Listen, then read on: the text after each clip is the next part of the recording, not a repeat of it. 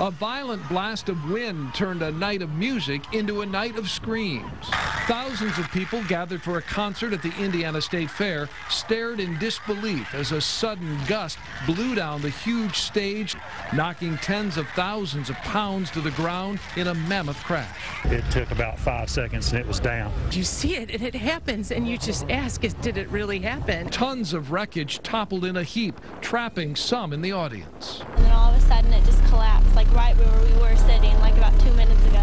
It went so fast, there was nothing nobody could do. Horrified spectators rallied to the rescue, trying with their bare hands to free those pinned by the mass of mangled metal. People rushed uh, to move the chairs out of the way that were blocking access to picking up the debris and started trying to lift the, the stage. Emergency crews were quickly on scene, racing more than 40 victims to the hospital.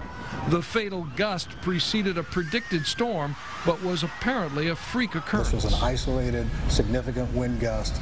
The tragedy sparked spontaneous heroism and generosity. Nurses, uh, EMTs, doctors came to state police, um, to fire department that said, what can we do to help? But individual Hoosiers ran to the trouble, not from the trouble. Investigations are now underway into how safely the stage was constructed and whether storm warnings should have prompted an evacuation.